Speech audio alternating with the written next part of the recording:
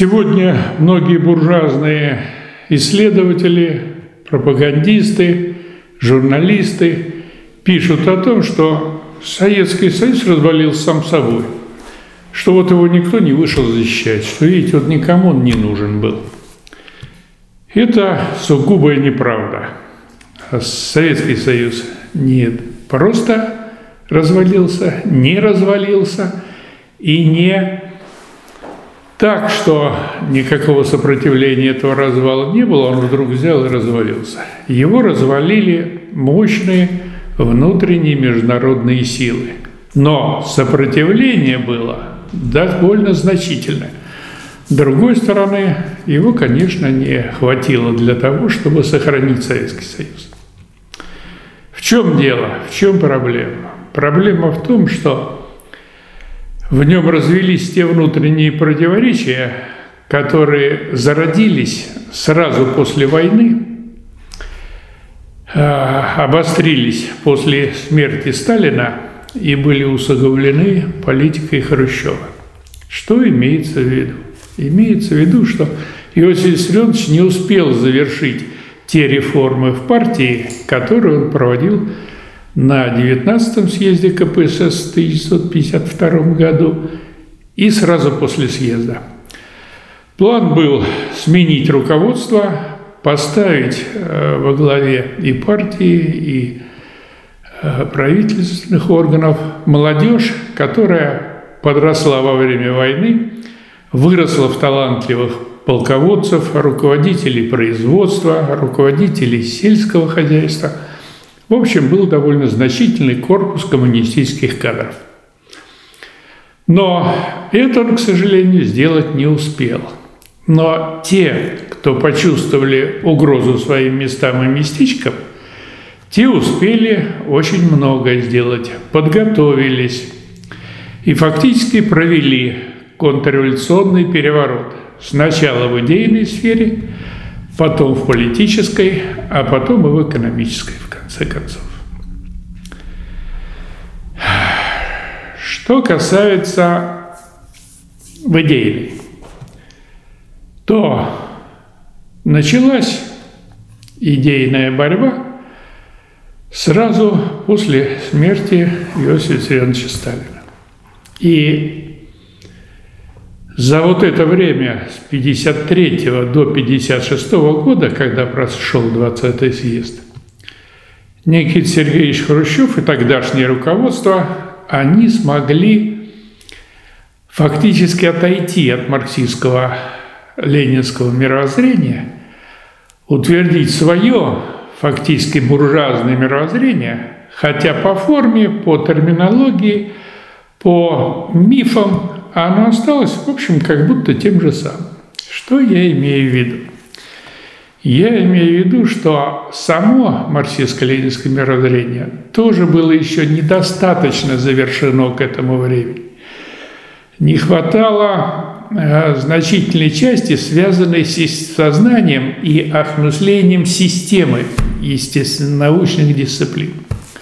Но работа эта велась, и даже в партии была задача написать краткий курс марксистско-ленинского мировоззрения. И в 59-60 году э, такого рода работы вышли. Одна официальная,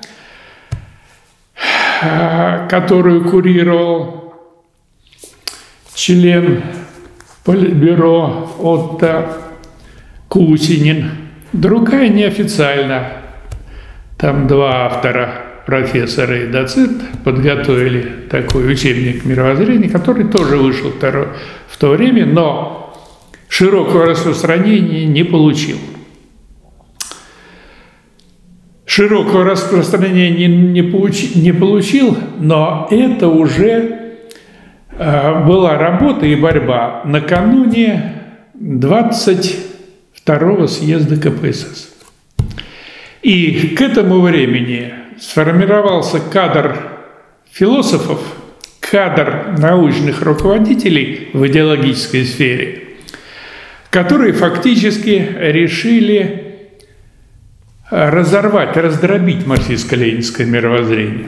И Философия получила некоторое такое отдельное значение, как бы ее выделили из мировоззрения и назвали мировоззрением. Мы скажем, если взять старые учебники по философии, то там везде этот рефрен звучит, что в марксистско-ленинской философии есть современное коммунистическое мировоззрение.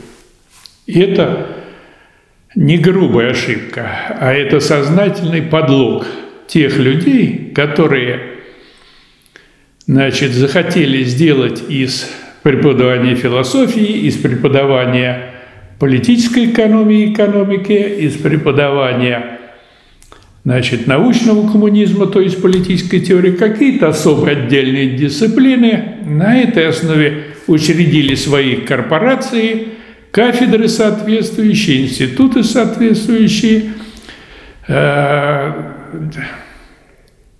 научные советы по диссертационным защитам по этим направлениям и как бы разъединили целостное мировоззрение.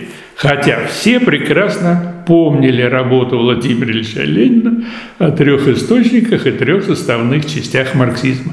Марксизм – это единое учение, единое мировоззрение, которое включает три большие части, взаимодействующие друг с другом. Это экономическая теория, э, политическая теория и философская теория – которая сводится в основном к гносеологии и диалектической логике, к науке логики Гегеля даже, поскольку других таких целостных и логичных системных учебников в общем не появилось за почти 200 лет после Гегеля.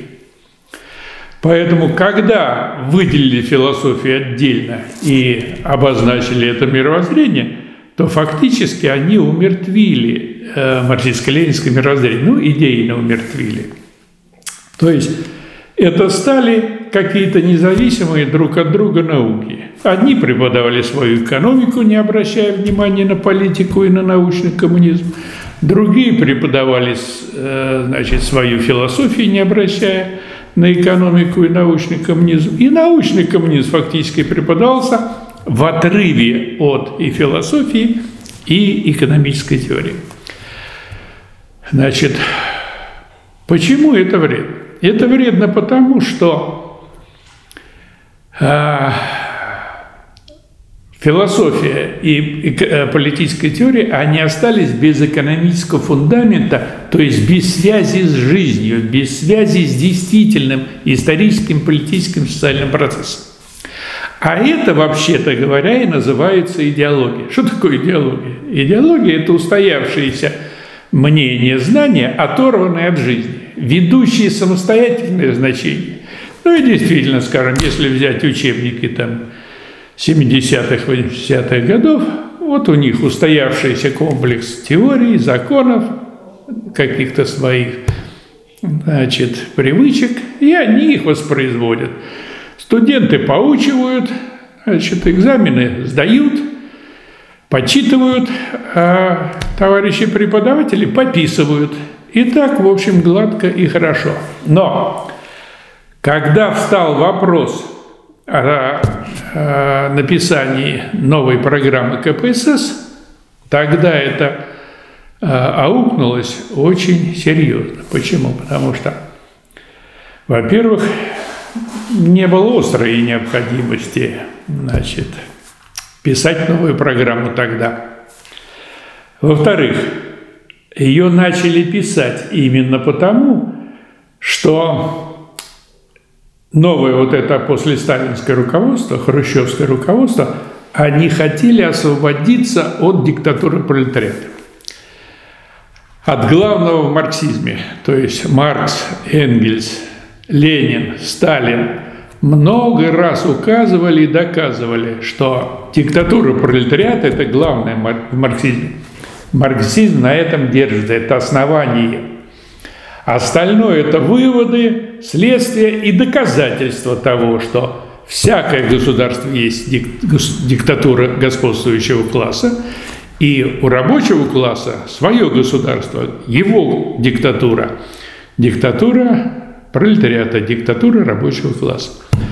Значит, вот эти товарищи э, идеологи, известные тогда, значит, Отто Вильгельмович Кусинин, э, Федор Васильевич, э, Василий Федорович Константинов, академик, а в 61 году он еще был членом-корреспондентом, Богомолов, академик, значит, Францев, там многие академики участвовали в этом процессе. Но они с этой э, подменой фактически согласились. Саму подмену, как я теперь выяснил, э, совершил э, такой бурлацкий был Федор, журналист и философ, и юрист. Вот в частности мне довелось что сделать. Я работал над программой партии и своей рукой туда вписал отмену диктатуры пролетариата. Знаете, что это значило? С всех сторон надо, вообще раздавались звонки. Это крушение, это э, не будет ленинизма и так далее. Но не сам, не по своей инициативе, а его нашел Кусинин. Числе молодых преподавателей он увидел этого Бурлацкого, увидел, что тот, значит, пытается провести какие-то ультрадемократические значит, новации, видимо, подошел ему, он его пригласил к себе на дачу и ему так вежливо намекнул, что вот диктатура патриота вроде уже устарела, и нам нужно какое-то ведь, наверное, новое демократическое государство. И Бурлацкий ему придумал общенародное государство. Но э, среди руководителей ЦК у нас была поддержка.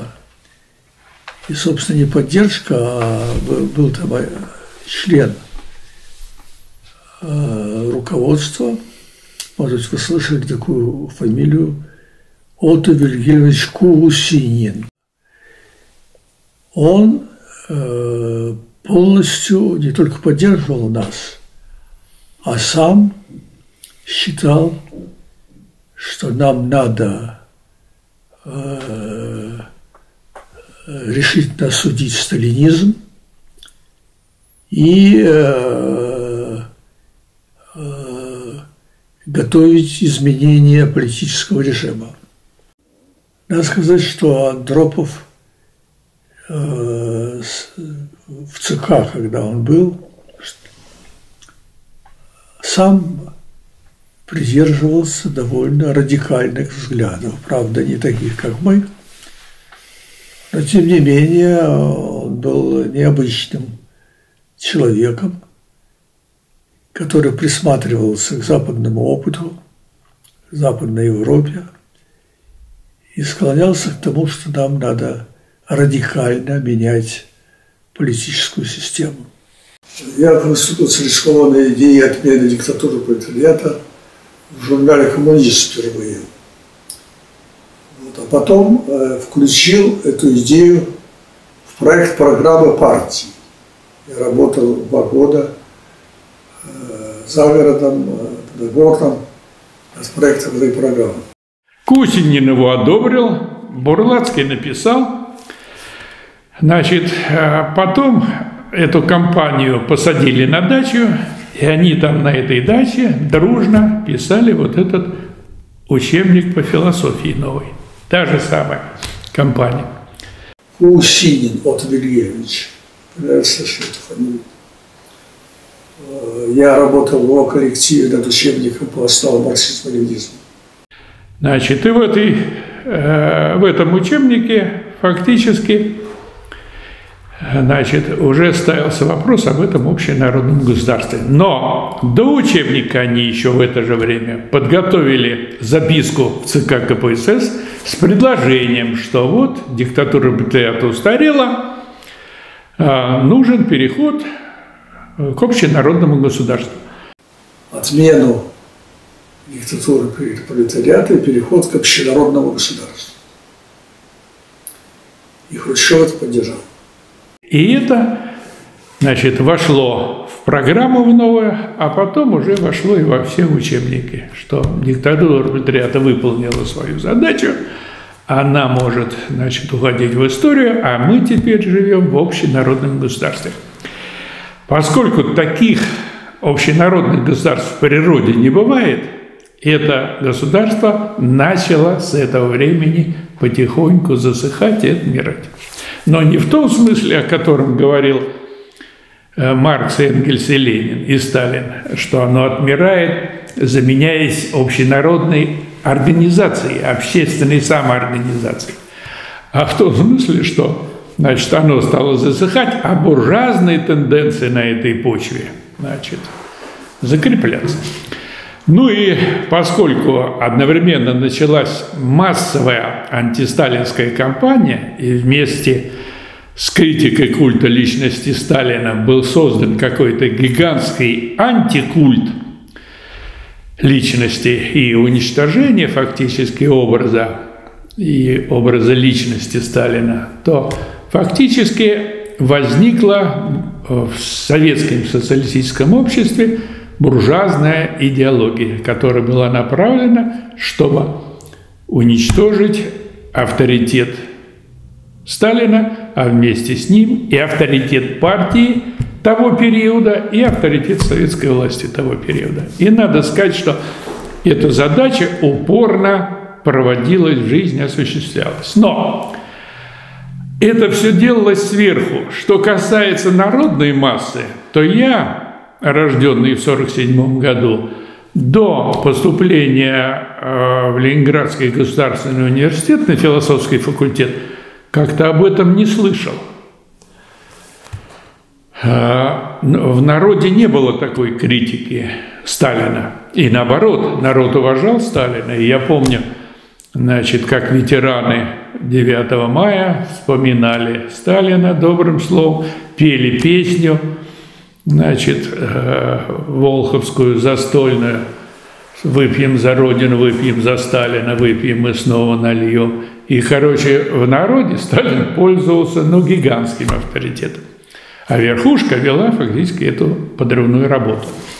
Но коль скоро были эти настроения в народе, они все-таки отражались и в идейной сфере. Поэтому среди ученых, художников, журналистов – других идейных работников была масса людей, которые не воспринимали вот эту культ, вот эту идеологию, вот этот культ личности и вот эти наговоры на Сталина, понимая, что это какая-то большая, крутая ложь.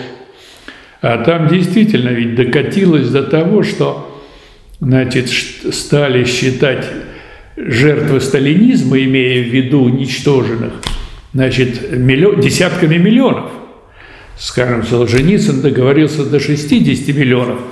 Неделю назад на передаче первого э, э, канала «Россия» первого «Россия-1» у Ольги Скобеевой, значит, младший брат Чубайса, Игорь Борисович, говорит, 55 миллионов уничтожено при Сталине.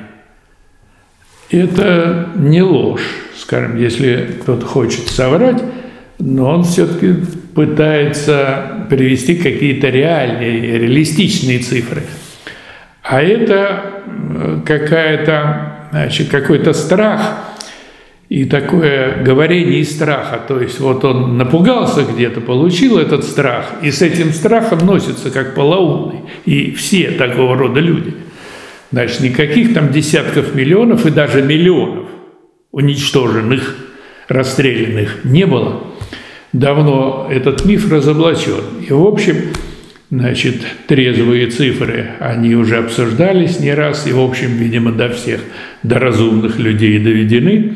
И они сравнимы, сравнимы с теми жертвами, которые за этот же период, скажем, были а, и в Соединенных Штатах Америки, скажем, через электронный, через электрический стул – и там химическая у них есть форма.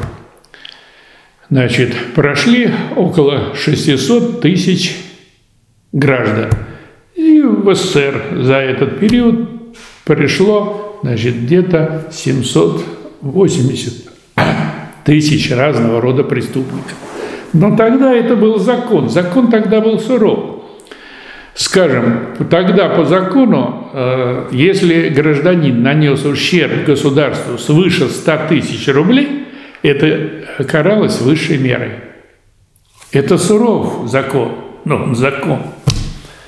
Причем я не уверен, что сейчас бы, если гражданам вынесли на референдум предложение, значит, считаете ли вы э, уместным смертную казнь против тех, кто разворовывает, значит, э, имущество на миллионы там рублей.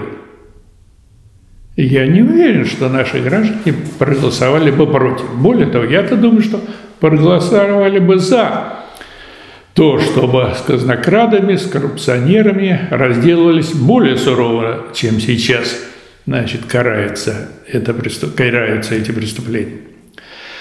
Так что э, такой вот получился подъем, всплеск буржуазного сознания, буржуазного права и буржуазной политики. Но в ответ, значит, вот эта волна народного понимания и Сталина, и сталинизма, и социализма, и коммунизма, она, конечно, была, и она проявлялась, значит, во всех слоях интеллигенции и работников, в том числе и у нас. Поэтому, когда к власти пришел Горбачев, то в первых своих заявлениях, живых, без бумаг, он произвел такое благоприятное впечатление на народ. Когда он первый раз приехал в Ленинград и вышел из машины у гостиного двора, его окружила дружественная толпа, он с ней так это приятно пообщался и вызвал народную симпатию. Ближе к народу, мы никогда вас не подведем. Ну куда ж ближе? Но по мере проведения значит, своей перестройки Э, по мере усиления э, разговоров и отсутствия дел, значит, население, граждане, рабочие, интеллигенты начали задумываться, что что-то идет не так. И где-то в конце 1986 года, в общем, уже возникло такое ощущение, что это не политика коммунистическая, не политика коммуниста, а болтовня – типа хрущевской.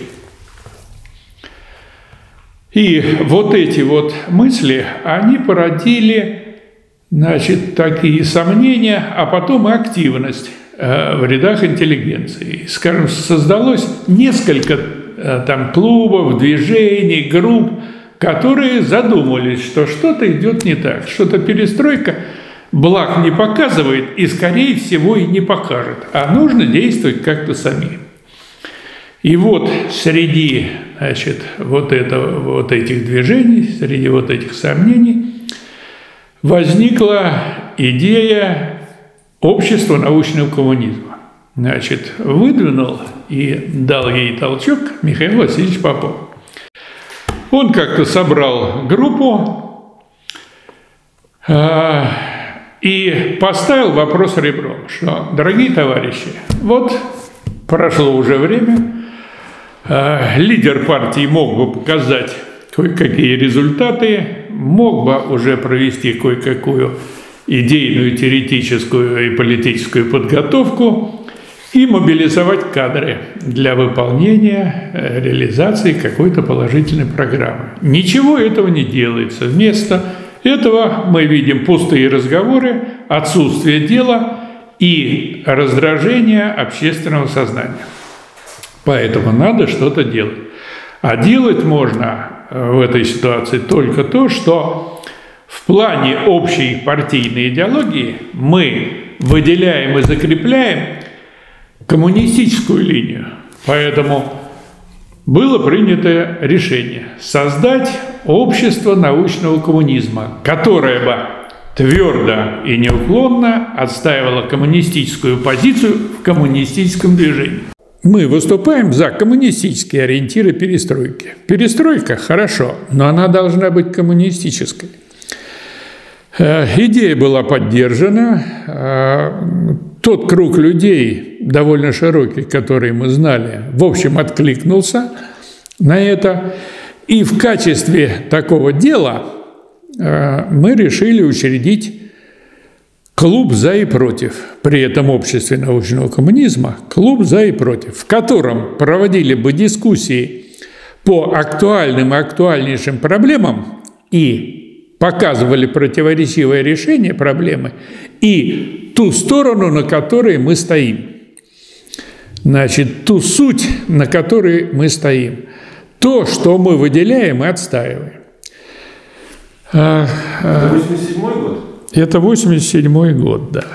И вот мы с Михаилом Васильевичем составили такой устав и задачи общества научного коммунизма. И даже вот так вот опубликовали такую брошюрку с тем, чтобы те, кто э, приходит с нами в контакт, они понимали, о чем идет речь. Э, ну и, скажем, основные задачи общества. Первейшая задача – совместное определение актуальных проблем научных исследований, концентрация и активизация усилий по разработке важнейших задач теории и практики научного коммунизма – Выработка единых позиций по принципиальным вопросам, содействие публикации наиболее значимых результатов исследований. Э, и клуб «За и против», он и был призван значит, к тому, чтобы на общественных собраниях больших итогами вот этих исследований делиться и отстаивать эти идеи, и распространять их, и пропагандировать. А, мы пошли в областной комитет партии, значит, объяви, объяснили свою задачу, встретились с первым старем обкома КПСС товарищем Соловьевым. Он пообещал нам поддержку. Поддержку в том смысле, что поговорит э, с э, директором э, областного дома политкультуры что нам в этом доме разрешат использовать э, главное такое помещение э, типа амфитеатра, конференц-зал для дискуссий. И вот раз в неделю, по-моему, по пятницам вечером мы устраивали дискуссии, и некоторые из них даже были записаны ленинградским телевидением на видеоаппаратуру. Значит, в общество научного коммунизма вошло довольно много людей самого различного социального положения, профессии, возраста. Но костяком таким были э, отчасти ученые, профессора, доценты Москвы, Ленинграда и некоторых других городов, а отчасти рабочие. Ну и, конечно, такой как бы основой этого общества были Ученые и рабочие Ленинграда. Это прежде всего инициатор и организатор всего этого процесса Михаил Васильевич Попов. Во-вторых, такой выдающийся, авторитетный в Ленинграде, да и в стране основатель учения о социально-экономическом планировании в, Советской, в Советском Союзе, доктор экономических наук, доктор философских наук Василий Яковлевич Ельмеев. Вот. Теперь э, известный ученый из э, Ленинградского университета, с философского факультета, доктор, экономических, доктор философских наук, профессор Джамал Занадинович Мутагиров э, на, фило, на политологическом факультете в ЛГУ, в СПБГУ. Вот. Это Снежков Александр Васильевич был такой доцент из высшей партийной школы – тоже активный марксист, Ленин, твердый такой коммунист. Вот. Ну, я принимал участие, был заместителем председателя клуба «За и против» и вел некоторые заседания клуба «За и против». Одно из заседаний, а, эти заседания часто записывало Ленинградское телевидение, пятый канал, почти все они записаны и есть на этом телевидении – а по а, итогам одного заседания я написал отчет в бюллетене Ленинградского обкома КПСС. Ну и рабочие, такие выдающиеся коренные рабочие порта, например, например, Тимофеев, Евгений Петрович, докер Ленинградского морского порта. Теперь Федотов Константин Васильевич, он был руководителем профсоюзной организации Ленинградского морского порта. Значит, некоторые их товарищи, там целая группа из портов, она входила и в, в общество научного коммунизма, и очень многие их ходило в клуб «За и против». И иногда они выбирали такое место, значит, кучное, и вели оттуда Значит, вопросы, споры, дискуссии, выступали даже иногда, вели такую активную полемику. Вот, Красавин был симпатичный такой молодой рабочий с русского дизеля, который с Пыжовым и Михаилом Васильевичем выдвигались э, в депутаты э, Ленинградского совета. Э, и надо сказать, что да, некоторые из тогдашних наших депутатов избрались в Ленсовет, в том числе Виктор Овчинников был такой рабочий Кировского завода, очень интересный, грамотный. Он и сейчас подвижный человек, активный сотрудник рабочей партии, член рабочей партии России. Пыжов этот Анатолий Васильевич – очень интересный. Тогда он был рабочим, хотя с инженерным образованием.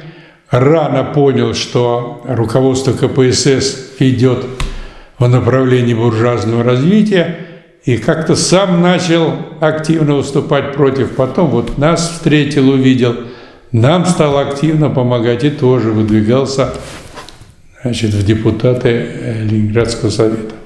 Еще и, народные депутаты СССР. И в народные депутаты СССР еще они выдвигались.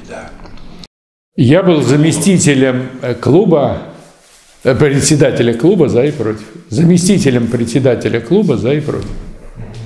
А председателем? А председателем был кандидат философских наук, доцент Еременко Иванович. Надо сказать, что этот клуб получил очень быстро большую известность и, скажем, им заинтересовались в других республиках, в Москве. И вскоре к нам потянулись э, такие авторы, которые хотели бы выступить в нашем клубе. И вот, скажем, из таких значительных э, людей, которые приезжали к нам на клуб из Москвы, можно назвать Ричард Иванович Косолапов. Это главный редактор э, общесоюзного журнала «Коммунист». Это серьезный идеологический работник в солидном возрасте. Он рано понял, что Горбачевщина ведет не туда. То есть, ну, вместе с нами понял, что Горбачевщина ведет не туда. И, значит, решил активно выступить против Горбачева и Горбачевщины. Но не резко пока, а в таком, значит, дискуссионном виде. Вот, он делал доклад у нас. Потом был такой Алексей Алексеевич Сергеев, доктор философских наук, профессор из, из Академии труда из Москвы. Это вообще выдающаяся личность. Скажем, мы к тому времени под давлением вот этой вот хрущевской пропаганды, которая сохранялась и при Брежневе, мы как-то начали уже забывать суть советов, сущность советов. Советы, советы, советы и советы, как что-то знакомое, и нам казалось, что нам все понятно. Но после его вот этих выступлений и дискуссий мы поняли, что Советы – это не просто название, совет – это не просто термин. Советы – это строго научно-историческое понятие, которое предполагает, что органы государственной власти, начиная с района и кончая Верховным Советом СССР, избираются от предприятий. Не из территорий, не по территориальным округам, не в территориальных избирательных комиссиях, а в производствах, в производственных комиссиях, в производственных округах. И тогда мы поняли, что в 1936 году в Конституции – принятой 5 декабря, была совершена большая принципиальная ошибка, а именно отказ от производственных округов и переход выборов и формирования советов на территориальные округа.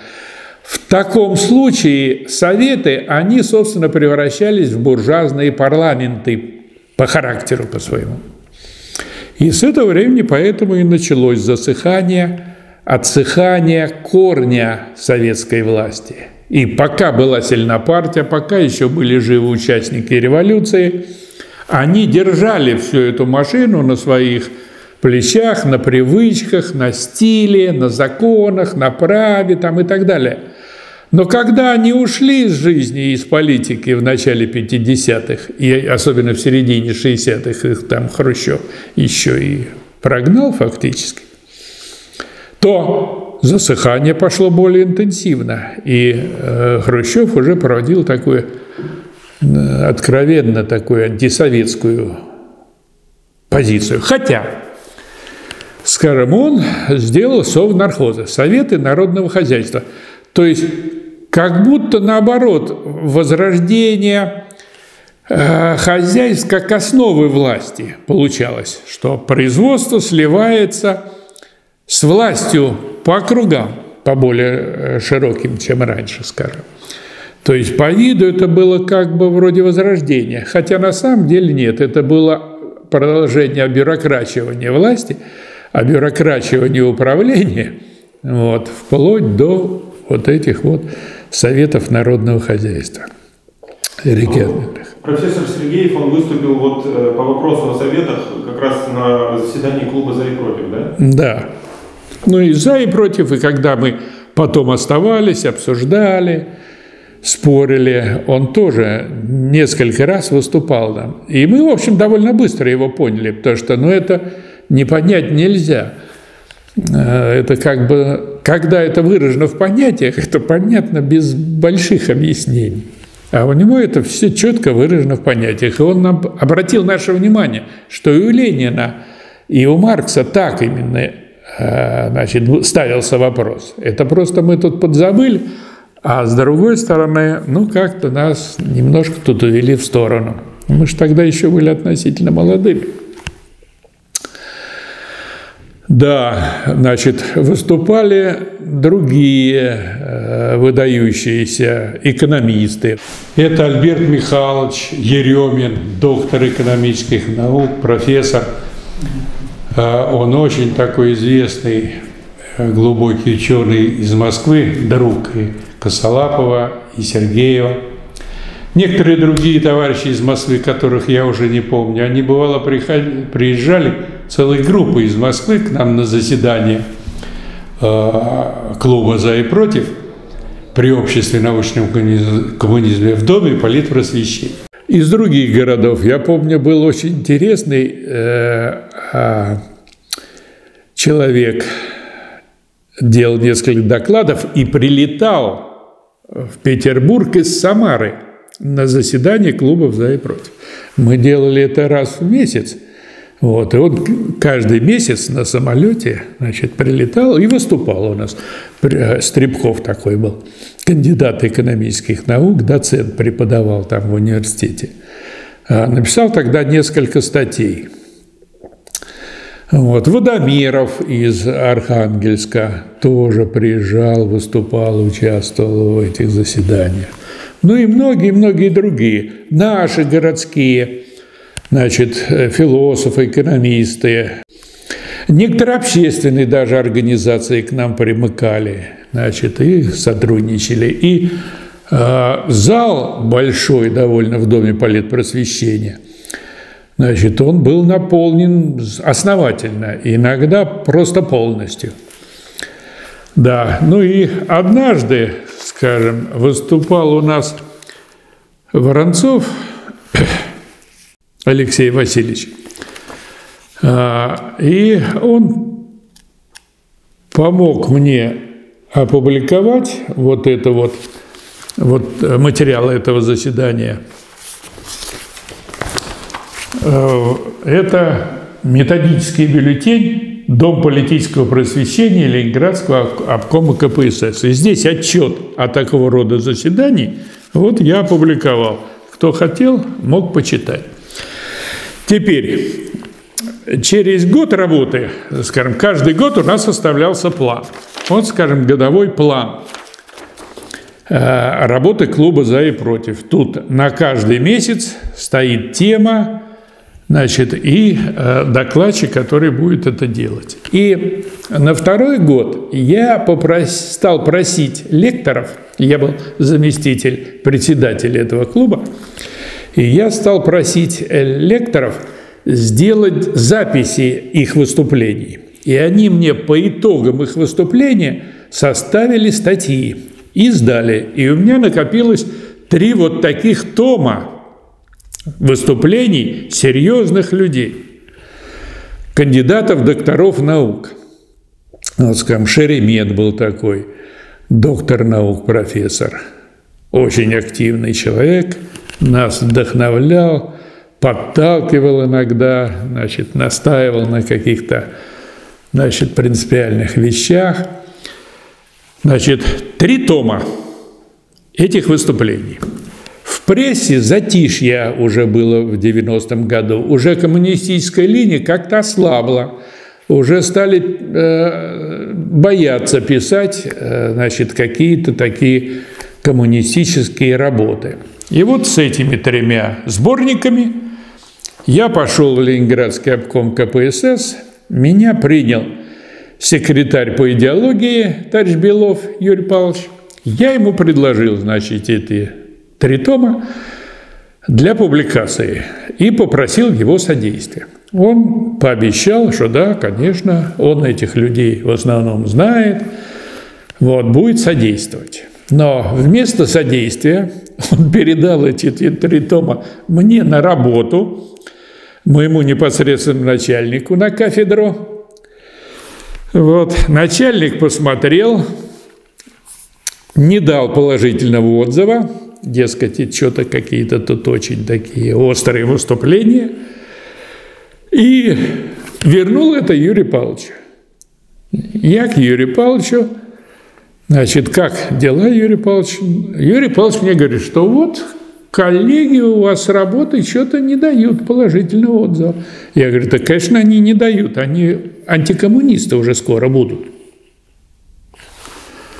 Вот, поэтому я говорю, нужно искать какой-то выход. Он пообещал найти выход, но так его не нашел.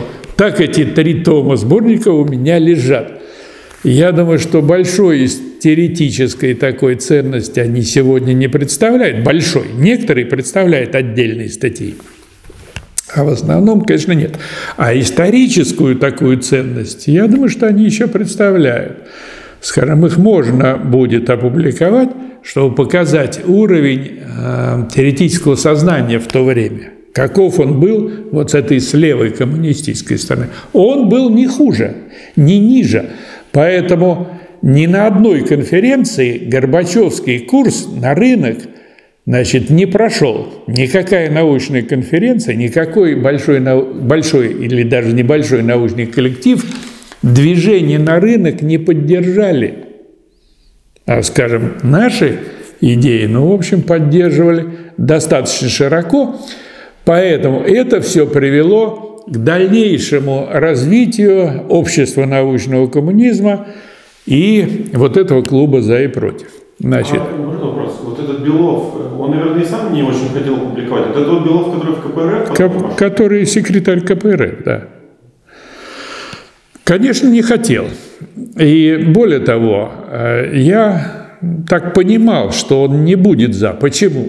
Потому что до этого мы с ним, мы, это я и Михаил Васильевич с одной стороны, и с другой стороны вот этот Белов, Мих, э, Юрий Павлович, и такой Владиславлев был в высшей партийной школе профессор – вот. И мы, нас пригласили на дискуссию в Смольнинский райком КПСС. Дискуссия о роли демократии, значит, вот, в современной ситуации. И мы с Михаилом Васильевичем отстаивали и необходимость диктатуры пролетариата в процессе строительства социализма, и необходимость продолжения диктатуры пролетариата и после, показывая, что этот отход он был неправомерен и антинаучным.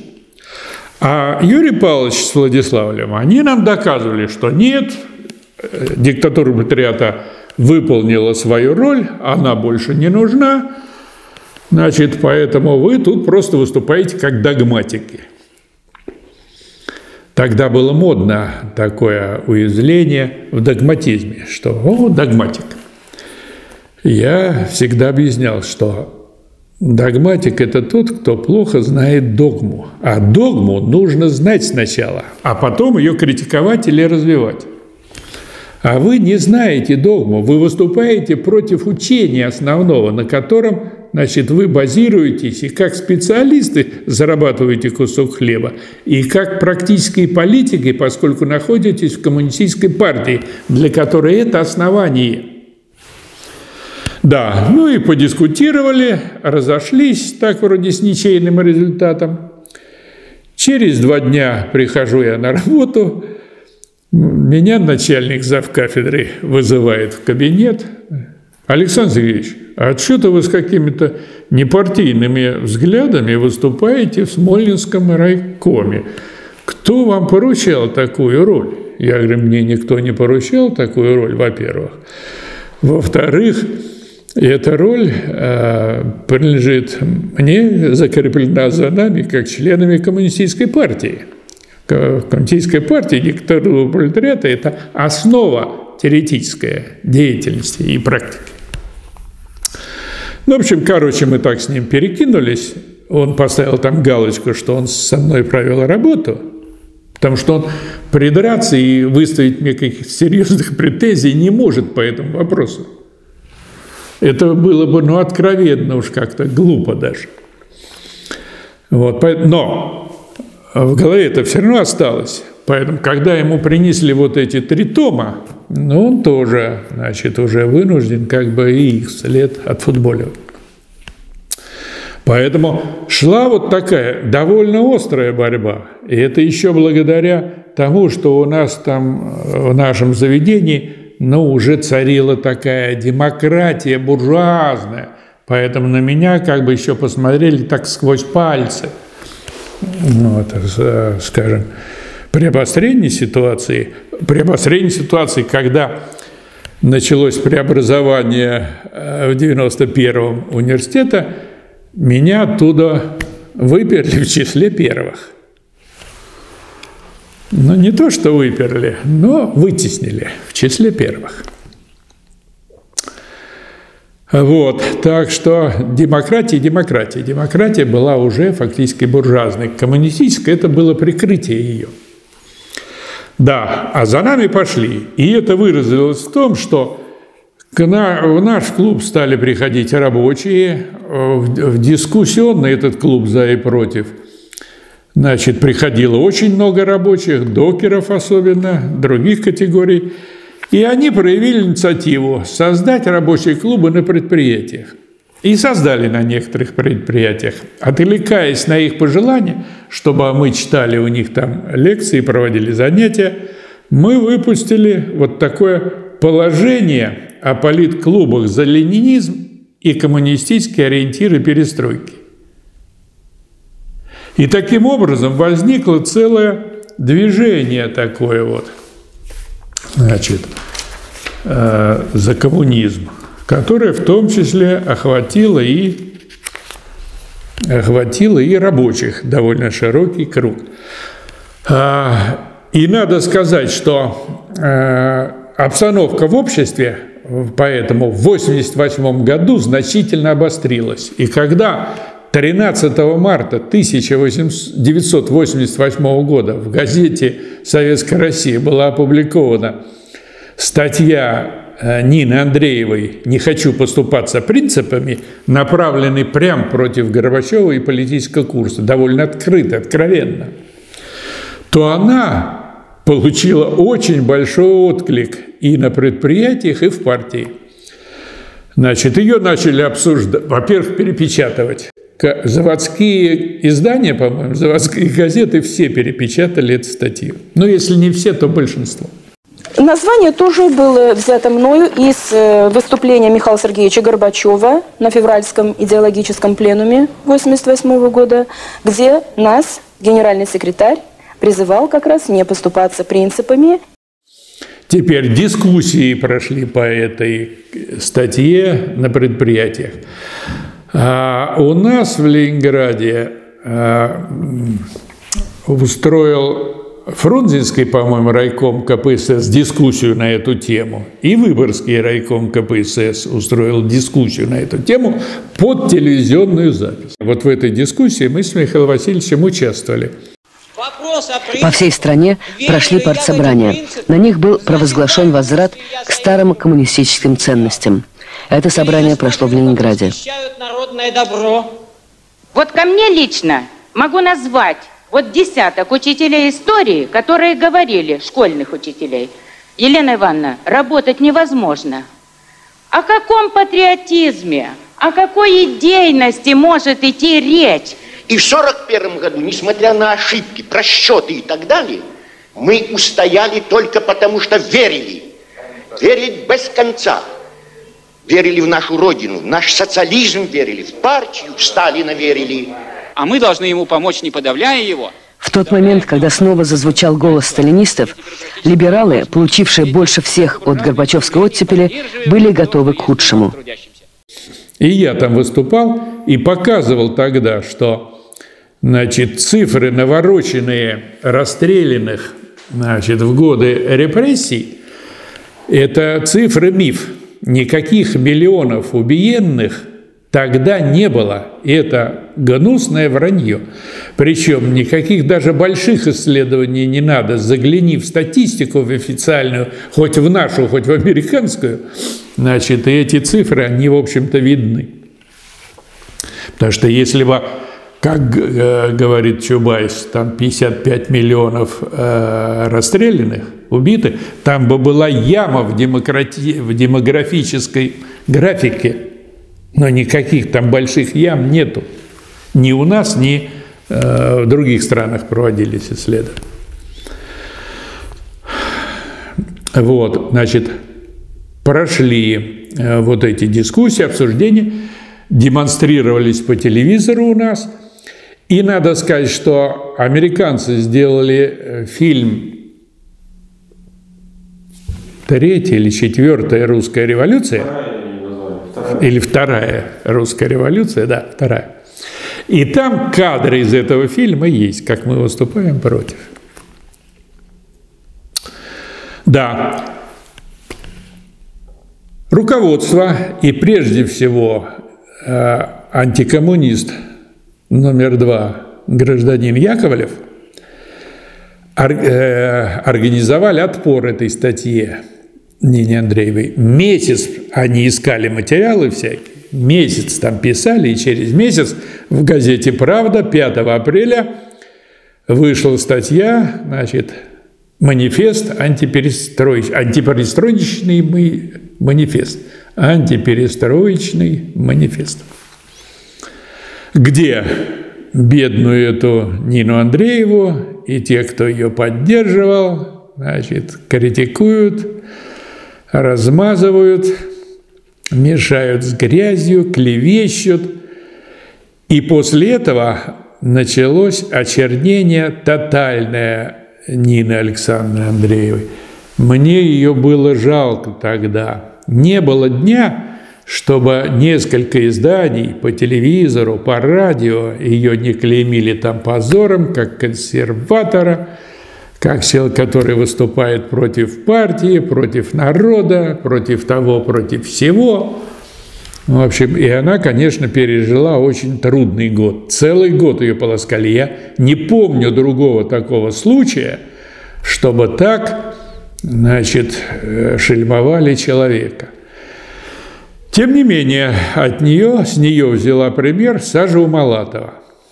Она прямо на съезде в лицо Горбачеву сказала, что вы предатель, что вы не способны руководить партией и государством, у вас ничего не получается, все, что вы делаете, вы проваливаете, уходите в лицо, в глаза.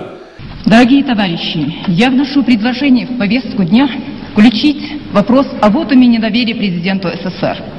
Руководить э, дальше страной Михаил Сергеевич не имеет просто морального права. Нельзя требовать человека больше, чем он может. Все, что он мог, Михаил Сергеевич сделал. Развалив страну, столкнув народы, великодержавную страну пустил по миру с протянутой рукой. Уважаемый Михаил Сергеевич, народ поверил вам и пошел за вами. Но народ оказался жестоко обманутым.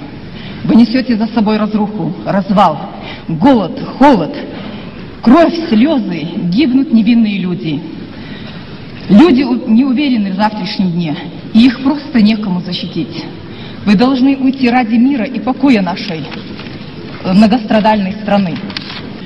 Поэтому я прошу предложение внести повестку дня первым пунктом мое предложение вот у меня недоверие Михаилу Сергеевичу.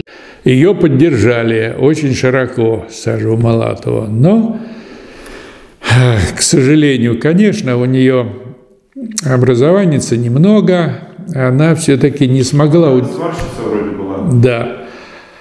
Она рабочая, и хотя она умная, энергичная женщина, мужественная женщина, и поднялась до высокого уровня и проявила волю крепкую, прочную, но все равно значит, э, не хватило ей данных, чтобы на этой высоте удержаться. Что-то она начала создавать свою партию, хотя уже были, была партия, значит, в которой можно было бы вступить серьезно. Ну, или в общественное движение, по крайней мере. Но она создала свою. И, конечно, никуда она с этой партией не продвинулась. А сейчас у нее вроде не коммунистическая направленность. А сейчас уже, да, сейчас уже такое тоже считаем буржуазное движение, и оно как-то заглохло, по-моему, совсем. Хотя она иногда выступает. А там еще был Тимураз Авалиани. Он выступал против Горбачева, против Горбачевщины.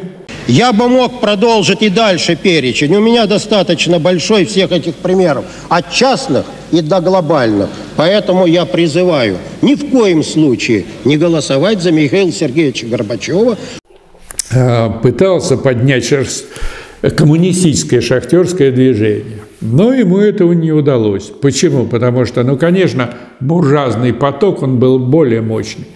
И к этому времени и э, часть рабочего класса, особенно вот в шахтерской сфере, она как-то уже заразилась буржуазным сознанием. Им казалось, что если они возьмут шахту в собственность, а они, в общем, как будто есть собственники, все принадлежит народу, то они тут будут королями. Не подумав о том, что они же отберут нашу общественную собственность. И тоже она все равно будет частной. А они еще там э, шахтеры на забастовке как-то ставили вроде требования об отставке Горбачева, да? На первоначальном этапе ставили требования отставки Горбачева. Даже э, стучали касками на спуске у э, собора Василия Блаженного в, Ленинграде, э, в Москве. Но все равно потом оно переродилось в буржуазную форму. Поэтому ничего, шахтеры, они фактически только помогли Яковлеву и Горбачеву разваливать Советский Союз. Да, значит, и в дальнейшем, несмотря на это шельмование, значит, Нине Александровне не удалось создать партию ВКПБ. По-моему, ВКПБ. Всесоюзная коммунистическая партия большевиков. Вот, где-то там в ноябре, в ноябрьские праздники прошел у них съезд, вот, и она создала вот эту партию. Но мне кажется, это тоже ошибка. Почему? Потому что у нее тоже, она довольно развитая женщина как идеолог – мощная воля, но у нее был э, помощник, доктор философских наук, муж, доктор философских наук, профессор. Вот, поэтому пока он был, он тут еще, так сказать, как-то помогал ей, она держалась. А потом, как он умер, конечно, она уже не могла заниматься такой высокоинтеллектуальной и высокоэнергичной деятельности. Это нужно много ума и энергии, чтобы создавать партию. Это нужна личность масштаба Владимира Ильича Ленина. И Нина Александровна, при всем моем к ней уважении, она, конечно, все-таки такой личностью не была. Поэтому из партии это ничего не вышло, в конце концов, и она так превратилась в какую-то секту тоже. Она лишь показатель, что вот этого движения снизу, борьбы против развальщиков СССР было очень много и в России, и в других э, республиках. Кстати сказать, меня-то общество научного коммунизма посылало и в Литву, я встречался там с движением их единства, читал у них лекции, по приезде написал статьи о том, какие там процессы про, проходят теперь. В Латвию я ездил, тоже читал лекции, был на их крупнейших заводах, встречался тоже с их этим движением, значит, делился впечатлениями и рассказывал им, их, им о нашей деятельности. Поэтому это движение было довольно широкое, но ему было уже не по силам справиться с тем движением, которое шло сверху. То есть буржуазное э, течение, оно пустило уже довольно сильные корни в обществе. Поэтому где-то в 1988 году мы поняли, что вот этой нашей такой э, кружковой, клубной деятельности уже мало, что нужно переходить к каким-то значит, более серьезным формам и организации и борьбы. Поэтому вскоре вот это общество, и на основе э, общества научного коммунизма мы решили создать Объединенный фронт трудящихся. И его создали. Но я думаю, что об этом надо поговорить отдельно.